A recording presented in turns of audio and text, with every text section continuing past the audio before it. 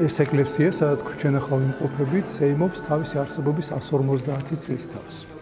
ის არის შეიძლება ჩავთვალოთ ადგილობრივი, ადგილობრივი მოძრაობა, რომელსაც დასაბამი დაედო თბილისში და მე თბილისიდან გავრცელდა არა მარტო საქართველოში, არამედ კავკასიაში და წავიდა ჩრდილოეთით, რუსეთში, უკრაინაში, მოსკოვში და პეტერბურგში 10 წლების განმავლობაში ეკლესიამ გამოსცადა უამრავი გამოწვევა.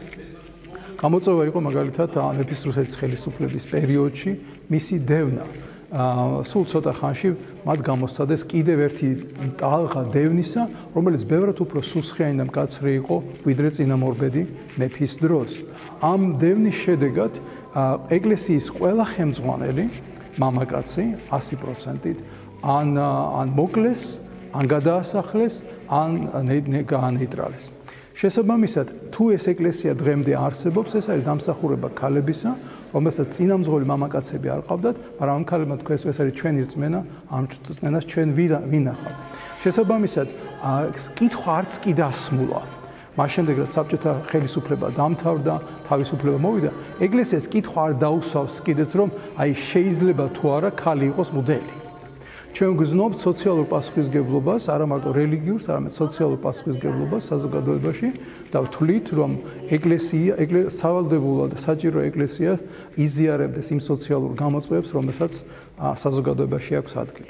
ეს არის უთანასწორობა, გენდერული სხვა სახის უთანასწორობა, უმცირესობების დევნა, დისკრიმინაცია, აი სოციალური დევნა და დისკრიმინაცია. ჩვენთვის ეს თემები არის ყველა მნიშვნელოვანი. თუ საქართველოსში თუ საქართველოს ფარგლებს მიღმა. და შესაბამისად ეს ეკლესია რომელშიც ჩვენ ახლა ვიმყოფებით უკვე 10 წლების განმავლობაში ესარჩლება სამართლიანობის მოძრაობას აღმოსავლეთ ევროპაში.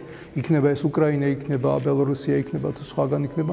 ჩვენ გვაქვს ჯერ კიდევ გრძელი და შორიგზე გასავლელი როგორც კულტურას, როგორც საზოგადოებას, როგორც სახელმწიფოს ვიდრე ჩვენ ვიქცევით თავისუფალ დემოკრატიულ საზოგადოებას, სადაც ადამიანი დაფასდება არა მისი წარმომავლობის, ეთნიკურობის, რელიგიურობის, სექსუალური ორიენტაციის ხვის გამო, არამედ ის რომ ის არის ადამიანი. გძელი გზა გვაქვს გასავლელი.